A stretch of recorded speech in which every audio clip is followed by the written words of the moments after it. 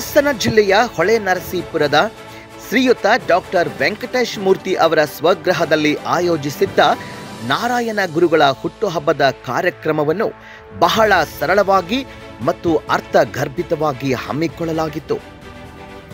ಈ ಕಾರ್ಯಕ್ರಮದಲ್ಲಿ ಬುದ್ಧ ಬಸವಣ್ಣನವರು ಮತ್ತು ಅಂಬೇಡ್ಕರ್ ಅವರನ್ನು ನೆನೆಯುತ್ತಾ ನಾರಾಯಣ್ ಗುರುಗಳ ಜೀವನ ಮತ್ತು ಬದುಕಿನ ಆದರ್ಶದ ಬಗ್ಗೆ ಮಾತನಾಡಿದ ಕುಮಾರಯ್ಯನವರು ನಾರಾಯಣ ಗುರುಗಳು ಬದುಕಿದ ಎಪ್ಪತ್ತೆರಡು ವರ್ಷಗಳು ಸಹ ತನಗಾಗಿ ಅಥವಾ ತನ್ನ ಹೆಂಡತಿಗಾಗಿ ಕುಟುಂಬಕ್ಕಾಗಿ ಬದುಕದೆ ಸಮಾಜಕ್ಕಾಗಿ ಬದುಕಿದ ಗುರುಗಳು.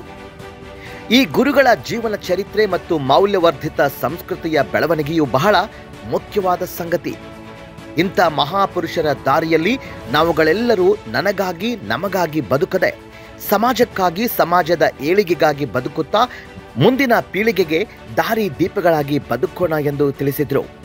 ಇದೇ ಸಂದರ್ಭದಲ್ಲಿ ಸುರ್ಪಿತ್ ಅವರು ಸಹ ಮಾತನಾಡಿ, ನಾರಾಯಣ ಗುರುಗಳು ನಮ್ಮ ಪಕ್ಕದ ರಾಜ್ಯದವರಾದರೂ ಸಹ ನಾವುಗಳು ಒಪ್ಪಿಕೊಳ್ಳುವ ಮನಸ್ಥಿತಿ ಅಥವಾ ಮನೋಭಾವ ಇಲ್ಲ. ಯಾಕಂದ್ರೆ ನಾನು ಮತ್ತು ನನ್ನ ಕುಟುಂಬದವರನ್ನ ಮಾತ್ರ ಒಪ್ಪಿಕೊಳ್ಳುವಂಥದ್ದು. ಆದರೆ ಇಂಥ ಧೀಮಂತ ನಾಯಕರುಗಳು ಇವರ ಆದರ್ಶ ಜೀವನ ಹೇಗಿತ್ತಂದ್ರೆ ಒಂದು ಕಡೆ ಶಿವನಲಿಂಗ, ಪಕ್ಕದಲ್ಲಿ ಲೈಬ್ರರಿ ಇದರ ಪಕ್ಕದಲ್ಲಿ ಶಾಲೆಯನ್ನು ಕಟ್ಟಿಸಿದಂಥವರು.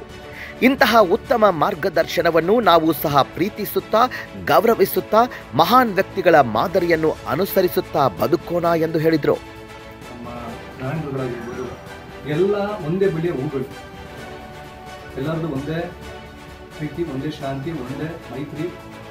ಎಲ್ಲದನ್ನೂ ಒಂದೇ ಆ ಆಲೋಚನೆಗಳಲ್ಲಿ ಬೆಳೆದು ಬಂದಂಥ ಭಾರತಕ್ಕೆ ಬದ್ಧ ಬುನಾದಿಯಂಥ ನಾಯಕರು ಇವತ್ತು ಭಾರತದಲ್ಲಿ ಅಸ್ಪೃಶ್ಯತೆ ಆಚರಣೆಗಳಾಗಿರ್ಬೋದು ದೇ ದೇವಾಲಯ ನಿಷ್ಠೆಗಳಾಗಿರ್ಬೋದು ಸದಸ್ಯಗಮನ ಪದ್ಧತಿಗಳಾಗಿರ್ಬೋದು, ಮತ್ತು ಹೆಣ್ಣಿಗೆ ಅಸಮಾನತೆ ಅಂತ ಒಂದು ಪೀಠಿರುವಂಥ ಇರುವಂಥದ್ದಾಗಿರ್ಬೋದು ಎಲ್ಲದನ್ನು ವಿರುದ್ಧ ಹೋರಾಟ ಮಾಡೋದು ನಾರಾಯಣ ಗುರುಗಳು. ನಾರಾಯಣ ಗುರುಗಳು ಭಕ್ತಿ ಚಳುವಳಿಗೆ ಅಷ್ಟೇ ಸೀಮಿತ ಆದವರಲ್ಲ ಅವರು ಸಾಕಷ್ಟು ಗ್ರಂಥಾಲಯಗಳನ್ನ ಕಟ್ಟಿದ್ರು, ಶಾಲೆಗಳನ್ನ ಕಟ್ಟಿದ್ರು. ಒಂದು ಇನ್ಸಿಡೆನ್ಸ್ ನಡೆಯುತ್ತೆ. ಆಗಿನ ಆಸುಪಾಸಲ್ಲಿ ಹದಿನೆಂಟು ಶತಮಾನದ ಆಸುಪಾಸಿನಲ್ಲಿ ಸಾಕಷ್ಟು ಅಸ್ಪೃಶ್ಯತೆಗಳಿರುತ್ತೆ, ಮತ್ತು ಸಕ್ಕ, ಸಾಕಷ್ಟು ಆಚರ ಆಚ ಅಡ್ಡ ಆಚರಣೆಗಳಿರ್ತವೆ. ದೇವಾಲಯ ಒಳಗಡೆ ಒಳಗಡೆ ಬಿಡ್ತಾ ಆಚರಣೆಗೆ ಸೀಮಿತವಾಗಿ ನಾರಾಯಣ ಗುರುಗಳು ಕ್ವಶನ್ ಮಾಡ್ತಾರೆ. ಏನಕ್ಕೆ ನೀವು ತಳವರ್ಗದ ಜನ, ಸಮುದಾಯದವ್ರನ್ನ ದಲಿತರನ್ನ ಶೋಷಿತರನ್ನ ಏನಕ್ಕೆ ದೇವಸ್ಥಾನ ಒಳಗಡೆ ಸೇರಿಸಲ್ಲ ಅಂತ ಹೇಳಿದಾಗ ಮೇಲ್ವರ್ಗದ ಜನ ಏನಂತ ಹೇಳ್ತಾರೆ ಅಂದ್ರೆ, ಅವ್ರು ಒಳಗಡೆ ಬಂದ್ರೆ ಶಿವ ಮೈಗೆ ಆಗ್ಬಿಡ್ತಾನೆ. ಹಾಗಾಗಿ ನಾವು ಒಳಗಡೆ ಸೇರಿಸಲ್ಲ ಅಂತ ಹೇಳ್ತಾರೆ. ನಾರಾಯಣ ಗುರುಗಳು ಹೇಳ್ತಾರೆ, ನೋಡಪ್ಪ ಆತ ಬಡವ ಇಲ್ಲಿ ಶಿವ ಇದ್ದಾನೆ. ಅವನು ನಿಜವಾದ ದೇವರ ಮಗ.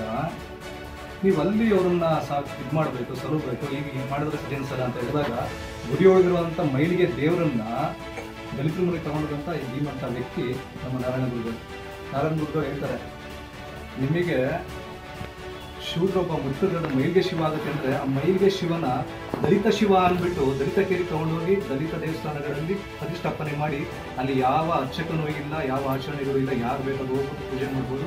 ಮಹಿಳೆ ಅಂತ ಅಲ್ಲಿ ಲಿಂಗ ಭೇದ ಭಾವಗಳಿಂದ ಗಂಡಾಗಿರ್ಬೋದು, ಹೆಣ್ಣಾಗಿರ್ಬೋದು.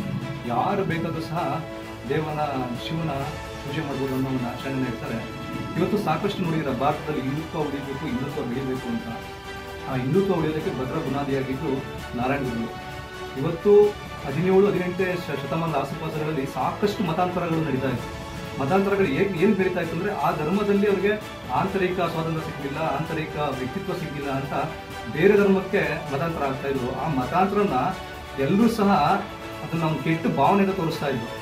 ಈಗ ನಾವು ಮನೆಗಳಲ್ಲಿ ನಮ್ಮ ಪ್ರೀತಿ ವಿಶ್ವಾಸ ನೋಡ್ಕೊಂಡ್ರೆ ಮನೆ ಒಳಗೆ ಇರೋಕೆ ಅಷ್ಟೇ ಅವಕಾಶ ಸಿಗುತ್ತೆ ಹೊರತು ಅಲ್ಲಿ ಇಲ್ಲ, ಇಲ್ಲೇ ಇರೋ ಸಮಯದಲ್ಲಿ ನಾವು ಹೊರಗಡೆ ಹೋಗ್ತೀವಿ.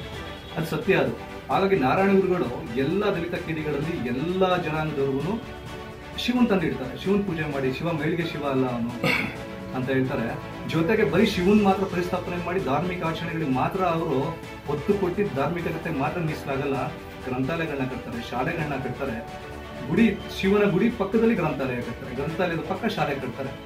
ವೈಜ್ಞಾನಿಕ, ಅವರ ವೈಜ್ಞಾನಿಕತೆ ಹೇಗಿತ್ತು ಅಂತಂದ್ರೆ ನನಗೆ ಭಕ್ತಿ ಒಂದು ನನ್ನ ಜೀವನವನ್ನು ಸಫಲಗೊಳಿಸಲ್ಲ, ಭಕ್ತಿಯ ಜೊತೆ, ಭಕ್ತಿಯ ಚಳುವಳಿಯ ಜೊತೆ ನನಗೆ ವಿದ್ಯಾಭ್ಯಾಸದ ಚಳುವಳಿ ತುಂಬ ಹೇಳ್ತಾರೆ. ನೀವು ನೋಡಿರ್ಬೋದು, ಗಾಂಧೀಜಿಯವರು ದಲಿತ ಕೆರೆಗಳಿಗೆ ಬಂದು ದಲಿತ ಕೆರೆಗಳಲ್ಲಿ ವಾಸ ಮಾಡಿ ಸ್ವಲ್ಪ ದಿನ ಅವ್ರ ಜೊತೆ ಆಶ್ರಯ ಇದ್ದು ಹೋಗ್ತಾರೆ. ದಲಿತೋದ್ದೇಶ್ವರ ಭಾರತ ಅಂದ್ಬಿಟ್ಟು ಒಂದು ಸ್ಲೋಗನ್ ಇಟ್ಕೊಂಡು ದಲಿತ ಮನೆ ಕೆರೆಗಳಿಗೆಲ್ಲ ಹೋಗ್ತಾ ಇರ್ತಾರೆ ಗಾಂಧೀಜಿಯವರು. ಬಸವಣ್ಣ, ನಾರಾಯಣರು, ಇವರೆಲ್ಲರ ಸಿದ್ಧಾಂತ ಒಂದೇ. ಅವರು ಜಾತೀಯತೆಯನ್ನು ಪ್ರತಿಭಟಿಸಬೇಕು ನಾವೆಲ್ಲ ಒಂದೇ ಒಂದೇ ಮತದವರು ನಾವು. ಒಂದೇ ದೇವರನ್ನ ಪೂಜೆ ಮಾಡಬೇಕು. ಮೇಲು ಕೀಳು ಇಲ್ಲ.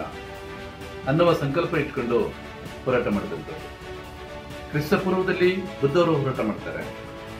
ಅವರು ಎನ್ಲೈಟ್ಮೆಂಟ್ ಆದಮೇಲೆ ಒಂದು ಹಳ್ಳಹಳ್ಳಿಗೆ ಹೋಗಿ ತತ್ವ ಸಿದ್ಧಾಂತಗಳನ್ನು ಸಾಕೊಂಡು ಬರ್ತಾರೆ. ಕ್ರಿಸ್ತ ಶಕ್ತದಲ್ಲಿ ಹನ್ನೆರಡು ಶತಮಾನದಲ್ಲಿ ಬಸವಣ್ಣವರು ಬರ್ತಾರೆ. ಅವರು ಅದೇ ಅವರೆಲ್ಲವನ್ನ ಪ್ರಶ್ನೆ ಮಾಡ್ಕೊಂಡು ಬರ್ತಾರೆ. ಹದಿನಾರು ಶತಮಾನದಲ್ಲಿ ಕನಕದಾಸರು ಬರ್ತಾರೆ. ಅವರು ನೇರವಾಗಿ ಪ್ರಶ್ನೆ ಮಾಡ್ತಾರೆ, ಕುಲ ಕುಲವೆಂದು ಒಡೆದಾಡಿ ಏಕೆ? ಕುಲದ ಮೇಲೆ ಏನಾದರೂ ಬಲ್ಲಿರ ಅಂತ ಅದ ಅದನಂತರ ಬಂದಂತಹ ಅವರು ಜ್ಯೋತಿ ಬಾಪಲೆ ಮತ್ತೆ ಸಾವಿತ್ರಿ ಬಾಪಲೆ ಬರ್ತಾರೆ. ಇವರು ನಾರಾಯಣ ಗುರುರವರು ಸಾವಿರದ ಎಂಟುನೂರ ಐವತ್ತಾರನೇ ಇಸ್ವಿನಲ್ಲಿ ಜನಿಸ್ತಾರೆ. ಕೇರಳದಲ್ಲಿ. ಆಕ್ಚುಲಿ ಅವ್ರು ಹುಟ್ಟಿದ ಹಬ್ಬ ನಾನು ಇಲ್ಲಿ ನೋಡಿದ ಪ್ರಕಾರ, ನಾನು ಹೇಳ್ತಾ ಕರೆಕ್ಟೆಡ್ ಇನ್ಫಾರ್ಮೇಶನ್ ಸೆಪ್ಟೆಂಬರ್ ಇಪ್ಪತ್ತು. ಇವತ್ತು ಸೆಪ್ಟೆಂಬರ್ ಹತ್ತು ಈಗ ಹತ್ತಾಗಿದೆ. ಇವತ್ತಿನ ನೀವು ಆಚರಣೆ ಮಾಡ್ತಾ ಇದ್ದೀರಾ? ಅದಕ್ಕೆ ಕಾರಣ ಕೇಳಿದಾಗ ನೀವು ಹೇಳಿದ್ರಿ, ಇವತ್ತು ಓಣಂ ಕೊನೆಯ ದಿನ. ಹಾಗೆ ಇವತ್ತು ಆಚರಣೆ ಮಾಡ್ತಾ ಇದ್ದಾರೆ, ಹಬ್ಬವನ್ನು ಆಚರಣೆ ಮಾಡ್ತಾರೆ ಅಂತ ಹೇಳಿದ್ರಿ. ಬಟ್ ಹುಟ್ಟಿದ್ದು ಇಪ್ಪತ್ತು, ಎಲ್ಲ ಕಡೆ ರೆಕಾರ್ಡ್ ಆಗಿರೋಂಥ ನನಗೆ ನಾರಾಯಣ ಗುರು ಅವರ ಪ್ರತಿಮೆಯನ್ನು ನಾನು ಲಕ್ನೋಕ್ಕೆ ಹೋಗಿದ್ದಾಗ, ಉತ್ತರ ಪ್ರದೇಶ ಲಕ್ನೋಕ್ಕೆ ಹೋಗಿದ್ದಾಗ, ಅಲ್ಲಿ ಮಾಯಾವತಿಯವರು ಒಂದು ಯಾರು ಸೋಷಿಯಲ್ ರಿಫಾರ್ಮರ್ಸ್ ಇದ್ದಾರೆ ರಿಫಾರ್ಮರ್ಸ್ ಅನ್ನ ಒಂದು ಲೈನ್ಗೆ ಫೋಟೋ ಹಾಕಿದ್ದಾರೆ. ಅಂದ್ರೆ ಸ್ಟ್ಯಾಚು ಮಾಡಿಟ್ಬಿಟ್ಟಿದ್ದಾರೆ. ಅದರಲ್ಲಿ ನಾರಾಯಣ್ ಗುರು ಅವರ ಸ್ಟ್ಯಾಚ್ಯೂನು ಸಹ ಅಲ್ಲಿ ದೊಡ್ಡ ಪಾರ್ಕ್ ಅದು ಹೆಚ್ಚು ಕಡಿಮೆ ಒಂದು ನಾಲ್ಕೈದು ಸಾವಿರ ಎಕರೆ ಇರಬೇಕು. ಅದೆಲ್ಲ ಅಷ್ಟು ಎಕರೆಗೂ ಸಹ ಕೆಳಗಡೆ ಇದನ್ನು ಹಾಕಿದ್ದಾರೆ. ಮಾರ್ ಗ್ರಾನೈಟನ್ನು ಹಾಕಿ ಮಾರ್ಬಲ್ ಹಾಕಿ ಮಾಡಿದ್ದಾರೆ. ಅದರಲ್ಲಿ ನಾರಾಯಣ ಗುರು ಬಗ್ಗೆ ನನಗೆ ಗೊತ್ತಿರಲಿಲ್ಲ ದಟ್ ಟೈಮ್ ನಾನು ಪ್ರಶ್ನೆ ಮಾಡಿದ ಸಂದರ್ಭದಲ್ಲಿ ಬಂದು ಓದ್ಕೊಂಡ ಸಂದರ್ಭದಲ್ಲಿ ಕೇರಳದಲ್ಲಿ ಹುಟ್ಟಿ. ಕೇರಳದಲ್ಲಿ ಅಷ್ಟೇ ಅಲ್ಲ ಅವರು ಹೋರಾಟ ಮಾಡಿದ್ರು. ಜಾತಿ ವಿರುದ್ಧ ಮತ್ತೆ ಧರ್ಮದ ವಿರುದ್ಧ ನಾವೆಲ್ಲ ಒಂದೇ ಅಸ್ಪೃಶ್ಯತೆ ವಿರುದ್ಧ ಹೋರಾಟ ಮಾಡಿದ್ರು ಅವರು ಓದು ಹೇಗೆ ಆಯ್ತು ಅಂತಂದ್ರೆ ಅವರು ಸಂಸ್ಕೃತನ ಚೆನ್ನಾಗಿ ಅವ್ರು ಓದಿದ್ದು ಗುರುಕುಲದಲ್ಲಿ ಓದ್ತಾರೆ. ವೇದನ ಪರಿಷತ್ತನ್ನು ಕಲ್ತು ಬರ್ತಾರೆ ಸಂಸ್ಕೃತನ ಕರೀತಾರೆ, ಅಲ್ಲಿರುವಂತಹ ವಿಚಾರಗಳನ್ನು ಕರೆಕ್ಟ್ ಮಾಡ್ಕೊಳ್ತಾರೆ ಎಲ್ಲಿ ಅನ್ಯಾಯ ಆಗ್ತಿದೆ ಅನ್ನೋದನ್ನ ಅವರು ತಿಳ್ಕೊಂಡು ಅವರು ಜೊತೆಗೆ ಹದಿನೈದು ವರ್ಷ ಆಗಿದ್ದ ತಾಯಿ ಬೇರೆ ಕಳ್ಕೊಂಡ್ಬಿಡ್ತಾರೆ ಇದಕ್ಕೆ ತಂದೆ ಬೇರೆ ಹೊರಟೋಗ್ಬಿಡ್ತಾರೆ ಹೀಗೆಲ್ಲ ಆದ್ಮೇಲೆ ಒಂದು ಮಹಾನ್ ಕ್ರಾಂತಿಯನ್ನ ಕೇರಳದಲ್ಲಿ ಸೃಷ್ಟಿ ಮಾಡಿ, ಹಿಂದೂ ಆದ್ರೂ ಹಿಂದೂ ಆದರೂ ಹಿಂದೂಗಳಲ್ಲಿ ನಾವೆಲ್ಲ ಒಂದು ಆಗ್ಬೇಕು ಅನ್ನೋದನ್ನ ಅವ್ರು ಹೇಳ್ತಾರೆ. ನಾವೆಲ್ಲ ಒಂದೇ ಮತದವರು ನಾವು. ನಾವು ಒಂದೇ ದೇವರನ್ನ ಪ್ರೀತಿ ನಾವು ಪೂಜೆ ಮಾಡಬೇಕು ಅಂತ ಹೇಳ್ತಾರೆ. ಬೇಡ, ಜಾತಿ ಉಪಜಾತಿ ಬೇಡ. ಈ ನಾವು ದೇವರ ಹೆಸರಿನಲ್ಲಿ ಹೊಡೆದಾಡೋದು ಬೇಡ ಅಂತ ಹೇಳಿದಂಥವ್ರು. ಈ ಸಂದರ್ಭದಲ್ಲಿ ಡಾಕ್ಟರ್ ವೆಂಕಟೇಶ್ ಮೂರ್ತಿ, ಸೋಮಯ್ಯ, ಈರಯ್ಯ ಇನ್ನೂ ಕೆಲವು ಗಣ್ಯರುಗಳು ಹಾಜರಿದ್ದರು.